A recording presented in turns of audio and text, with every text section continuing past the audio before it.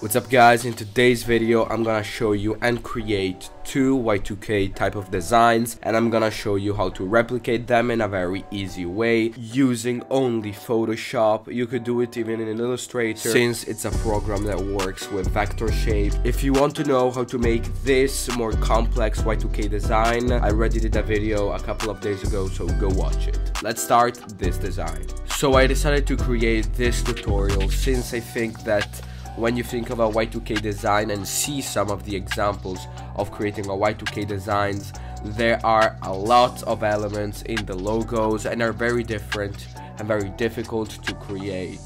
If you don't know how to put different elements together so I decided to just create a beginner's tutorial on how to create a Y2K design. These designs are super super easy to make and I think that in 10 minutes or less you can just achieve one of the two. So we can just start with the first design. With the first design you will need two fonts the first one is Planet Cosmos, which you can find it on uh, dafont.com. And the second font is a curly font and it's called uh, Altesse STD and uh, it's a curly font that you can find in the Adobe free font library if you have an Adobe subscription. So, you will need two words for this design. I just decided to go with the two words of my brand, so Global Mind. So global will be will be in the Planet Cosmos font, and instead the mind will be in the other font that I was talking about earlier. So here we have the main idea. So one the main font, the Planet Cosmos font, needs to be black and the other font white or even the opposite, so two opposite colors. And that what you will need to add is uh, just click on the layer of the curved font and uh, double click and add a stroke in black, so in the opposite color of the actual text uh, color. So you will have something like this. So you, you will have one text black the other one white with a black stroke.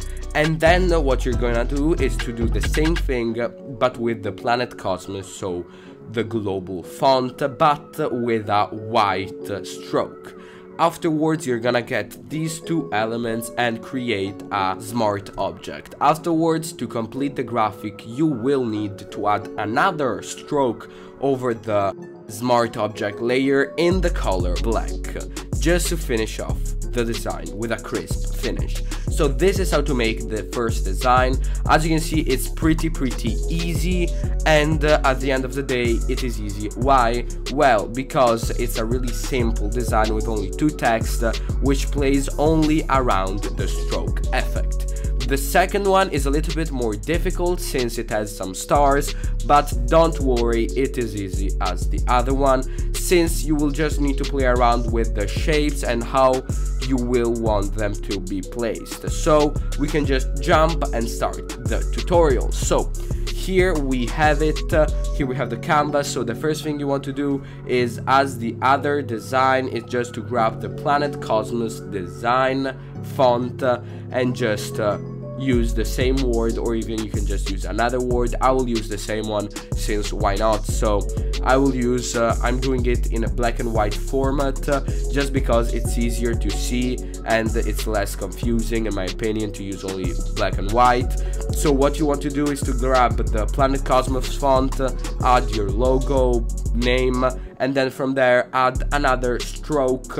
In this case the opposite color will be the stroke and then what you will need to do is to add uh, some other text uh, in this case I added my other full name clothing brand name so Mind Studios Global Mind Studios in another font I decided to go with my personal favorite font which is Monument Extended which is a pretty basic font and I really like how it complements the Planet Cosmos font. So what you will need to do is the same thing, so add a stroke, a black stroke, which is the opposite color of the inner color of the font and of the text.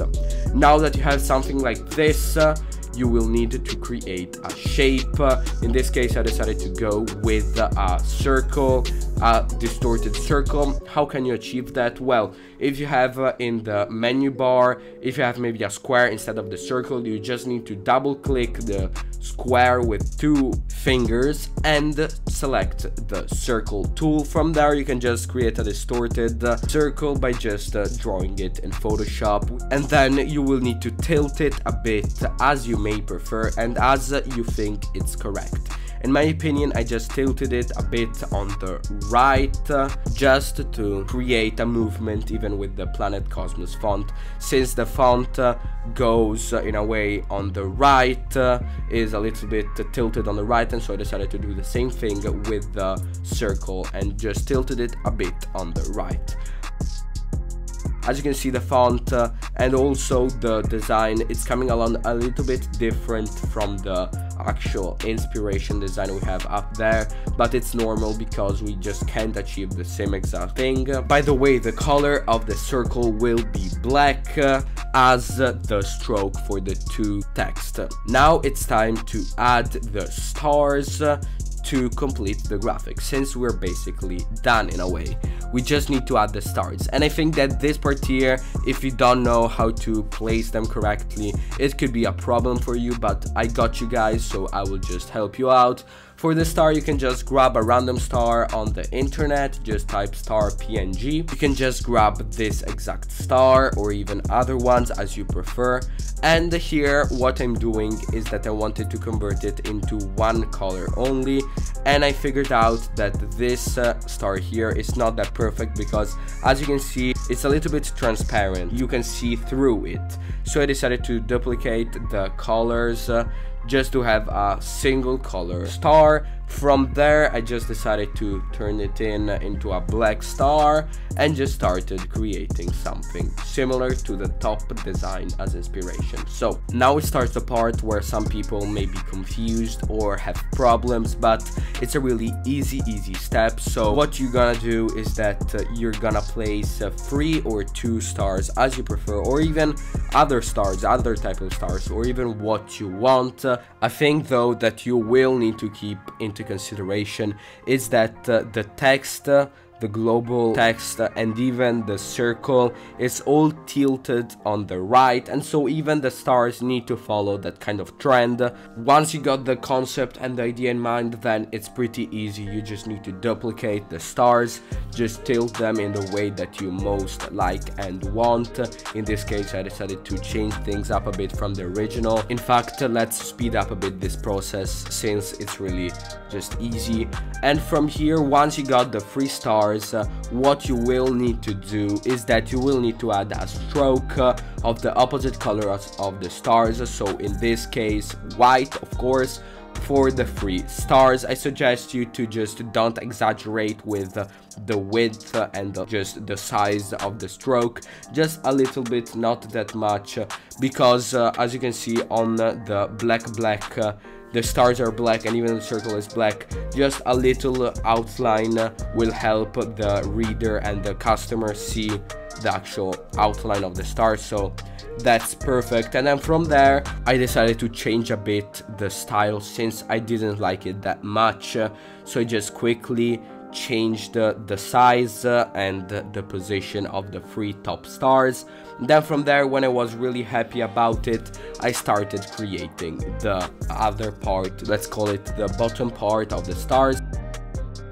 Keep in mind though that there needs to be a trend in the stars, so in the top part it's uh, large to small and in the bottom part will be small to large or something similar. To create the bottom part of the design with the stars you will need to duplicate the upper stars so you will just uh, save some time in adding the stroke and even you will have the same stroke without having just issues maybe changing a bit the stroke you will just need to duplicate using command J on Mac on Windows I think it's uh, Control J something like that. Once you finished adding the stars and uh, just uh, playing around with the layer option tab on the bottom left part and uh, just adding some stars over the text and other ones below just to create a sort of layer you will need to add a white background uh, inside the logo. How can you achieve that? Well, you could just go on the circle layer and just add the uh, inner color of the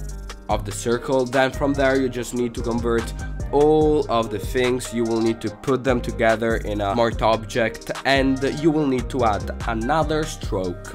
In this case it will be white the size of the stroke will be a little bit larger just because it's the outer part of the design. Now just convert again all the layer in another smart object and add another stroke. In this case it will be black and it will be in a smaller smaller size just to outline the white background. If you're up for a bigger challenge i already created a video where i show you how to design a more complex y2k t-shirt design. Link down below. I'll catch you tomorrow. Bye bye